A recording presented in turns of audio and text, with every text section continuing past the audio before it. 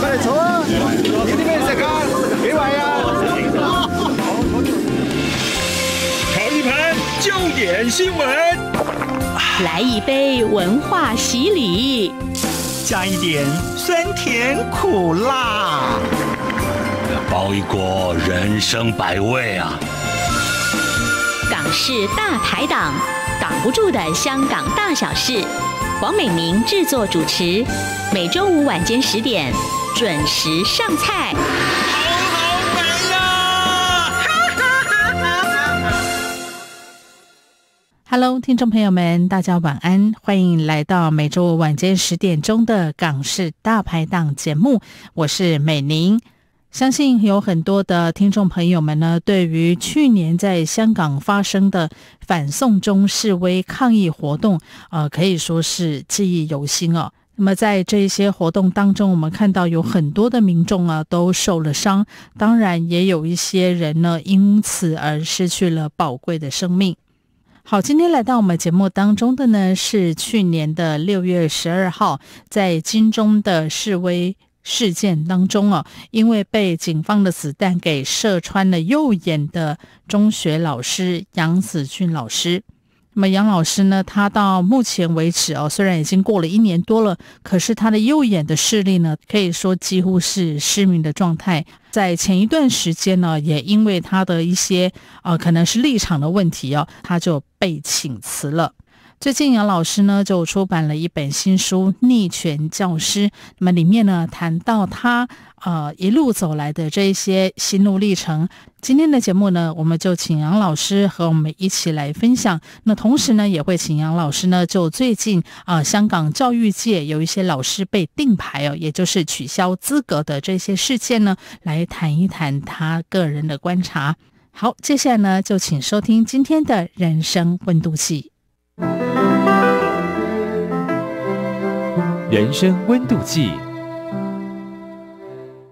杨老师您好，你好，杨老师，我们知道在去年的六一二事件之后，您的眼睛受了伤了，最后也把呃教书的工作辞掉了。我想，老师您从原本一位是工作跟薪资其实都蛮稳定的职业，变成了呃，如果引用您书里面写，就是变成。暴眼逆权名牌女校同时教师，我想老师这一些情况应该不在您的人生规划当中哦。那对于这一些，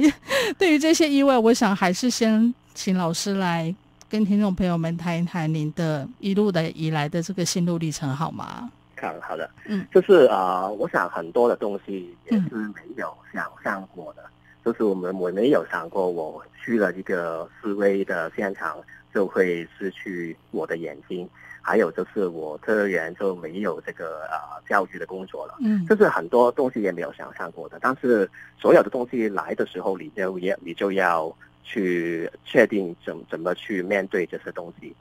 啊、呃。但是我回想当初的话，我想还是我当初做的决定还是正确的。因为就是去年的时候，我们要反对这个逃犯条例的修订嘛。嗯哼，这个逃犯条例就是完全破坏了我们香港的一国两制，这是一个对香港的承诺。啊、呃，我们可以看见很多的市民，他们就是反对这个逃犯条例。嗯啊、呃，我们当初做的诉求是很正确的，所以我去这个示威的现场，我是没有后悔的。啊，当然就是发生了意外，我失去了我的眼睛。嗯，但是我当初的决定是啊，我我相信还是有一点作用的。最后我们的这个啊逃犯条例还是啊被被撤回了。对，所以这个是啊没有问题的。嗯，另一方面就是当然除了这个逃犯条例的问题之外，我们也也看见了香港发生了很多很多之后的问题，就是警察的啊不利啊，还有这个。啊，国安法 很多很多其他的政治上的问题，嗯，我看见很多啊，我的朋友还还有是香港的民众，就是面对的问题，就是我们感到一点无力啊，我们啊称之为无力感，嗯啊，他们我们看见很多问题，但是没有很多方法去啊解决，就是解决这些问题。但是我还有一点方向可以做的，就是我可以去啊利用我的方式啊，我是或者是利用我被。啊辞去教职的这个情况，都是去吸引一些关注，就是我可以利用这些媒体的关注，可可以做再做多一点东西。所以就是现在我的状态也是挺好的，我觉得还是有一点东西可以做的。嗯，我我想请教一下，您现在的右眼是视力是几乎没有吗？还是就是非常微弱这样子？啊，如果说是一个稍的数字上来说的话，就是五个八分比，八分比。正常的视力是一百，我是现在是五，所以稍呃数字上是很低的，但是还是可以看到一点点。嗯哼，可是对于生活上面，其实也会有蛮多的不方便。尤其之前您是从事教育的工作，要改作业呀什么的，是蛮伤眼力的 工作。对，工作上就是比较辛苦一点，就是因为有这个重影的问题，就是一一只眼睛是清楚的，另一只眼睛是啊模糊的，所以就看起来就是很辛辛苦。但是现在也。啊，还可以了。我相信我的生活上，因为也有方法去解决这些问题，就是戴着我的眼罩，就是可以看清楚东西。嗯，老师，我真的很想请教您，为什么可以这么的坚强？我我我看了您的书之后，您在其实第一时间在医院受伤，然后隔天出来之后，您还写了一场篇来报平安吧，或者是说安慰其他您的好朋友们。然后我觉得在里面看不到任何的愤怒或者是怨恨。您在里面写了：“我自始至终都是凭良知而行，我不后悔。”然后还有一句是：“我会继续努力，香港加油。”所以您的个性原本就是这么有韧性的吗？哦 呀，我我我我可以说这是是理性吧，因为就是我觉得很多问题我们是没有方法去改变的。就像是香港的情况一样，就是我只是一个很普通的市民啊，也是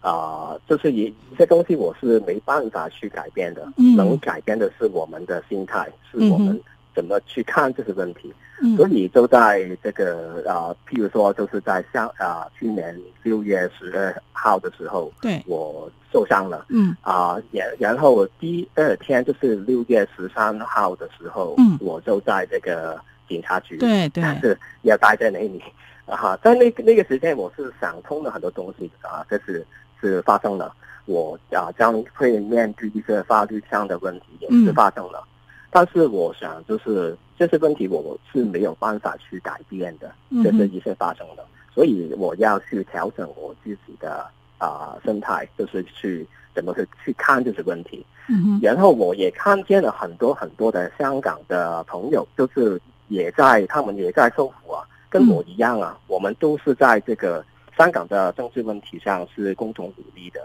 所以当你知道你知道有很多很多人也是面对同样的问题的时候，你就会觉得自己是 也许没有什么大不了的，就是我们要看前看，就是要啊思考怎么去看这些问题，还有怎么解决这些问题。嗯。老师，我看到您这一本书里面哦，就是有写到说这本书是提前 三十年问世的哦，所以您其实原本在呃刚开始从事教职的时候，其实您就有想要说，哎，那我之后退休之后要来写一本回忆录，可是没有想到这一本书提前这么多年完成，而且内容应该完全也不是您原先所规划的内容吧？那您在出版这一本书的过程当中，有没有遇到什么障碍呢？因为现在好像这个言论比较紧缩一点，出版也部分也是这样子吧。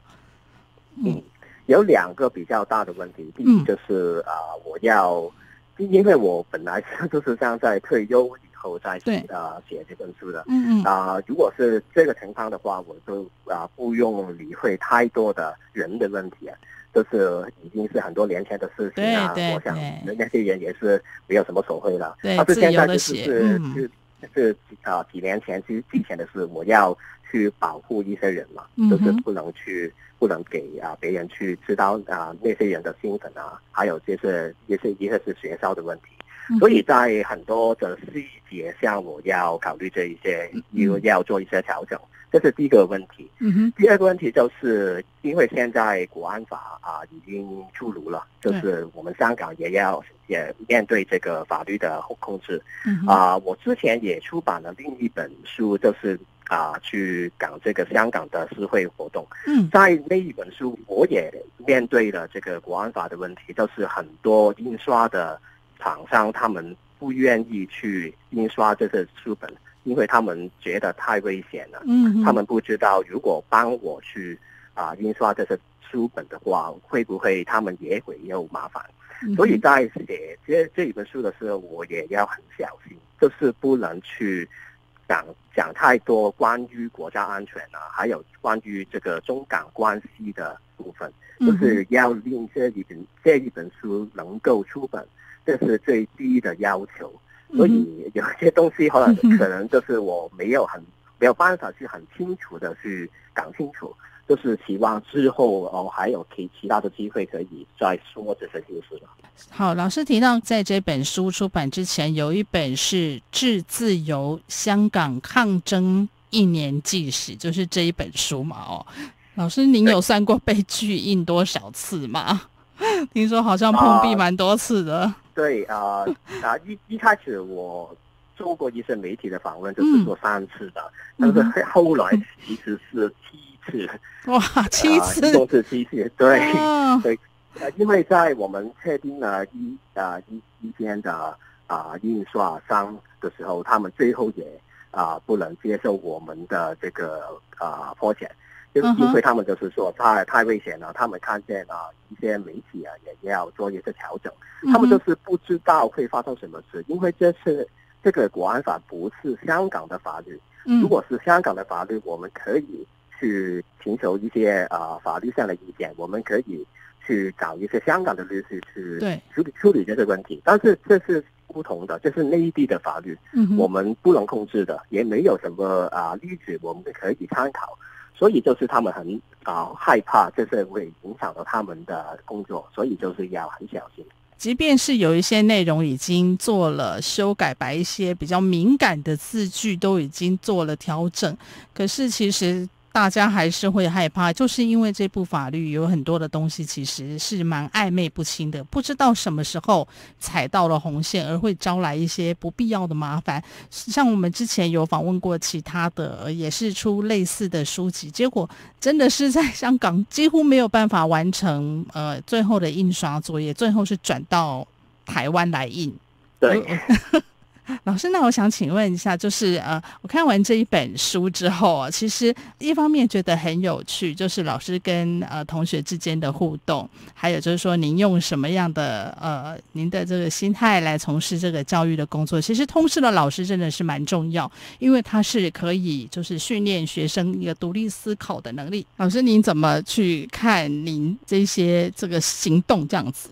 我觉得就是在找一个这个定位吧。就是很多学校的东西也有这些背后的规则的，就是我作为一个比较相对较比较年轻的一个教师来说，就是我没有在没有能力就在这个这个短时间去改变这些东西，我只能够做的就是在这个空间之下可以做什么。就是如果我看见啊，可能说就是学生的可。的学习都是有一些可以在进步的空间的话，我就想我可以做什么？比如说我在我的书提到的是哦，我可以设计一些新的啊教育的教材啊，我可以帮他们去面对他们的考试，这是我可以做的。或者是啊，我们香港正在面对的一个问题就是中港的融合嘛。就是他们说要进入一个大湾区，嗯这是可能是未来的一个大方向。我们香港可能要被内地同化了，嗯这个是我们要面对的问题。在这个大方向下，就啊，我们香港人啊，我作为一个香港的教师，我可以做什么呢？就是在这个制度下找一些空间，我可以在啊，还是可以去进行我伤心的东西。比如说，我觉得香港的文化。或者是中文的文化，精统的中文的文化，应该是要被啊保全的。纵使我们将来要面对很多内地的挑战，所以就在这个空间之下，就在做我应会应该要做的教育，嗯这是我应对的方法啊。嗯啊，其实，在几年前，我还还会想象，就是未来嗯我更加多的权利的时候，啊，或或许我可以做更啊更多的东西，但是现在我已经要离职了，所以就嗯没能没法会去进行这些问啊这些方法。但是现在我在这个制度以外，我还是可以做很多东西的。嗯，是老师，我想在六一二之后哦，就是就像您的书中提到的，您开始了在这个校内跟社会上的这个双重分裂的生活。可是其实老师在教学方面，并不是那一种就是政治立场很明显，或者说非常激进的老师。可是当您知道后来您被一些家长向学校有一些投诉跟反应之后，您心里面会不会觉得有点受伤呢？啊、我可以说我是啊、在学校是很普通、很普通的一个教师，嗯。就是我想去不让别人有一个啊、借口去说我的在在协会运动上的参与会嗯。影响我的工作，嗯。也尝试去保保全我能够继续去啊、教书的这个工作嘛。嗯但是现在香港的情况就是不讲这个道理的，不管是我还有其他的老师，他们就是在他们自己的私人的空间说一些他们的意见。嗯还有这个最近就是有个香港的老师，他设计了一个教材啊，就是关于这个香港独立的问题的，这是一个很连续的讨论，就是很 balance 的这个很平平衡的讨论。对，但是还是被取消资资格了。就是现在的香港的教学情况就是不公平，还有不讲道理的。所以我在这个环境环境下也是面对着很多的挑战，还是面对投诉，最后也是啊丢失了这个教育的工作。所以这是对于我来说是一个打击啊，但是我很啊努力在扮演这个普通教师的工作，之后还是要离开了。但是嗯我也觉得这不完全是一个不好的事，因为嗯。如果我现在还在教书的话，啊，比如说现在是十月份的时候，我现在如果还在学校的话，应应该我今天就不能够接受这个访问了。嗯嗯嗯，还有啊、问题就是，啊、我教的是通识科，课，对，在这个环境下，我不能去教一个我因为通识科应该有的样子。嗯。现在就是我很多的课题也不能不能够去讨论，比如说我们在通识的话，我们会讨论关于香港的政治问题，还有就是一一些关于可能是现在肺炎的问题，嗯嗯，这是也会我是我们要教的啊课题。嗯。但是现在我们很多东西也不能讲啊，就是这个肺炎的来源可能是武汉，但是现在他们也也会说这是很啊文文感的问题，所以就是我也不能够去教我心目中的通识课，嗯所以我觉得我现在没有这个学校的控制，还是有点有一点好处的。嗯，是好，节目进行到这边呢，我们就先休息片刻，等一等，我们再继续回到节目的现场。台湾之音，给你最有 feel 的声音。中央广播电台，RTI，中央广播电台，RTI。好，听众朋友，您现在所收听的是中央广播电台台湾之音港式大排档节目，我是主持人美玲。今天和我们连线的是香港的逆权教师杨子俊老师。我其实不太喜欢用这个字眼，叫做“暴眼教师”，听起来还蛮奇怪的。好，老师，其实我们从刚刚前段的访谈当中，我们可以发现，老师真的是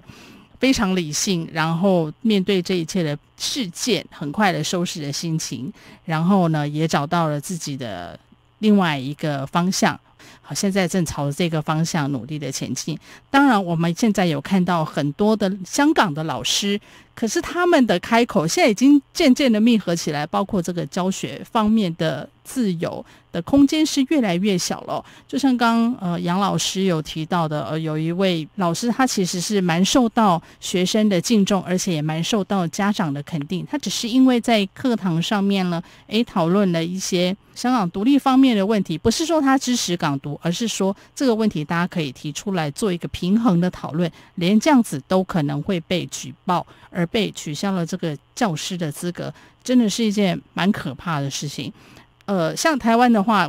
你要取消一个老师的资格，其实要经经过很多的程序。好，那在香港的话，是不是也其实也需要经过一些会议的讨论呢？甚至于教师协会啊等等，都应该要为老师来做一个辩护，或者是说呢，大家来坐下来讨论什么样的事情，什么样的教学内容会是比较好的，而不是一下子就。把它否决掉了，老师，您的看法？嗯嗯，教室是比较啊，我可以说是比较特别的，嗯，就是其他的专业的人士啊，他们有有这个这个行业的这个工会，嗯，他们的工会去判断，就是这个可能说，比如说他们收到投诉了，一个他们专业的人士收到投诉了，对，他们会去看这些问题丢点是否真正的存在，这，是。平常的做法，但是说，但是香港的教师嘛，他们就是有这个香港的教育局是控制的，我们没有正式的工会啊。这个问题就是经我们香港政府就是可以控制，究究竟那一些教师是他们有资格的，那一些教师是没有资格的。嗯哼。啊，现在的问题就是教育局他觉得那会老师有问题，啊。但是同一事件就是学校，他们的同学、他们的家长也觉得没有问题，是啊，都是教育局觉得他有问题，就是现在就决定要啊取消这个老师的资格。所以我相信这个是权力的问题，就是香港政府就是很容易可以控制学校或者或者是老师的情况。那等于老师完全他要怎么教，完全就没有任何的教学自由，而且有些东西变成是没有讨论的空间了嘛。就像现在有一些通识科的教材，还有历史科的教材，呃，虽然美玲是没有看过这些教材内容，但是我们从媒体的很多报道也可以看得到，就是这两三个月以来，其实有了一些翻修。呃，像是通识课教材里面公民抗命啊，还有三权分立这些内容都被拿掉了，然后还多了一些像诶要遵守法治啊这些内容。然后在历史的课本里面，可能加入一些比较有中国视角的香港史啊，比如说这个香港自秦朝以来就是中国的领土等等等。您怎么样看这样子的一个动作？香港教育局的这个动作呢？我觉得是他们就是啊，坦白说就是尝试是执行这个共产党的意图嘛。嗯，就是我们看见内地的情况，就是几十年以前也也是这样的，他们要控制人的思想，他们就要从这个教育去啊去工作。我们看见了啊，就在上个月一些亲中的政客，他们就说香港现在他们有三个山头，他们要进攻的。嗯，其中一个就是教育。还有两个就是啊，香港的法律的问题，还有香港的媒体，他们也要进攻的。教育是他们要他们要工作的一个部分。我想他们就是从这个共产党的思想，就是我要要控制下一代的思想，我们就要就要去这个教育中着手。啊，我们看见了他们首先首先从这个啊教材啊，包括我们的教科书，还有这个老师的方面去做啊，去去看怎么控制我们。所以这个是将来还还会去进行的，因为他们在在香港啊的情况就是我们的教育很受这个教育局的控制，嗯大部分的学校也是啊跟从这个教育局的控制的，他们的基金还有他们的老师也是来来自这个教育局的，所以我们很难去反抗什么，所以呃我想的情况还还会这样。我可以请教您，就是说，因为原本也有蛮多朋友们希望您可以参加立法会的选举嘛。当然，现在立法会选举已经延到明年了。然后，但是您后来决定就是不要去参加这个功能组别的参，就是不参选这一个部分。那您之后会有其他的计划吗？现在我想会啊，在这个啊制造以外的教育系工作多一点。就是我看见了现在香港学校的教育就是很受啊政权的控制，嗯，这是我们是很难反对的，因为嗯坦白说，就是我们老师的收益啊，还有这个学校的资金来源还还是来来自这个教育局的。嗯，所以他们要去改变一些规矩，改变我们要平常要工作的方法，我们是很难去反抗的。但是我们也要看我们香港的公民的社会可以做什么，嗯哼。因为坦白说，就是我们很多学生平常也习惯了在学校以外也要进行补习啊，还有其他的学学学习的方法，这是一一直存在的。但是呃，过往就是我们啊、他们比较是看考试那方面的补习对，啊、但是我们可以再尝试利用这个啊、方法去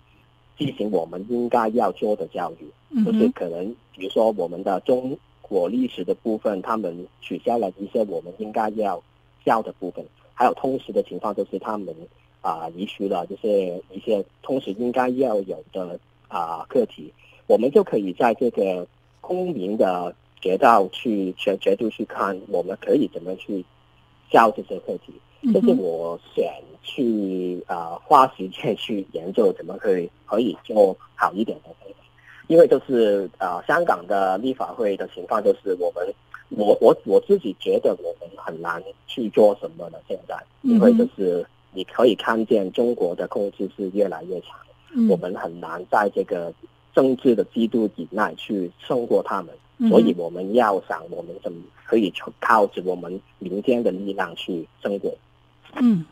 好，我想教育呢真的是百年大计，而这个教育的场域也不一定是在学校里头，所以杨老师现在可能有一些其他的计划，也许我们就来实现在社会上面的。啊，公民教育，我想或许会让我们的年轻朋友们，当然也不只是年轻朋友们，还有这个终身学习啊，永远这些呃独立自主的思考这样的能力，还有这样子的一个思辨，我想也是要透过公民的教育，不断的来做一个强化。那老师最后想请教您，在书本上面有写，将您这个中文的书名叫做《逆犬教师》嘛？那这个英文的名字叫做《穿越砖墙的旅程》。老师要不要来谈一谈为什么要取这样的一个英文名字？因为这个我在书中就是引用这个啊，就不不仅是香港的情况嘛，就是嗯很多很多世界上其他地方，我觉得还是有这个宣传的这个 brick wall 的存在。对，就是把我们的学生、把我们的民众，就是啊，大觉在这个经济上，还有他们应该要面对的自我之外，嗯这个是很多我们的年轻人面对的问题，就是他们不能看清楚他们要看的究竟是什么，嗯还有他们的自我究竟是什么。我作为一个教师，我就是想去移除、去打打倒，就是专专传，就是 brick wall。但是现在的问题就是，我已经离开了这个教育的